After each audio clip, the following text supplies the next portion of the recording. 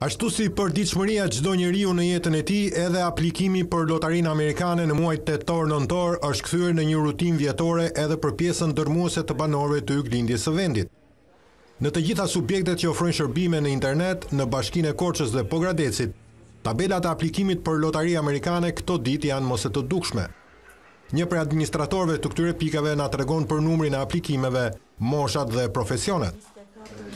Edhe këtë vit, si çdo vit tjetër, vazhdon ajo ecuria e zakonshme e aplikimeve për Llotarinë Amerikane, po këtë vit ka ndikuar edhe fakti që është hequr kërkesa për të pasur një pasaportë për të aplikuar, kështu që është rritur pak numri i aplikantëve. Nuk është se kemi ndonjë statistikë që t'i kemi numëruar, po aty te rreth pesëdhjetë aplikime në ditë, mund të jetë çdo ditë.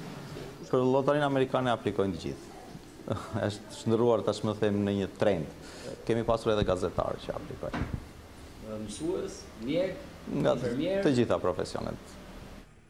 Natyrisht që të rinjtë dhe mosha e aftë për punë, përfshi dhe ato që janë të punësuar, i kanë sytë nga Amerika, dhe lotaria amerikane për ta është një mundësi që duhet shfrytëzuar, vit pas viti, derisa ta fitojnë.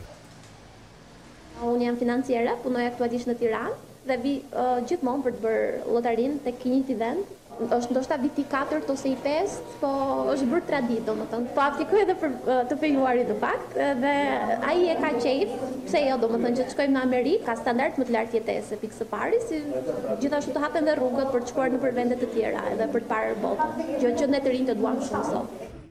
Juglindja e vendit është konsideruar si një prej zonave me më shumë fitues të lotarisë amerikane dhe kjo është kthyer në një bestytni për shumë qytetarë edhe nga qytete të tjera të vendit, të cilët udhëtojnë drejt Korçës vetëm për të aplikuar.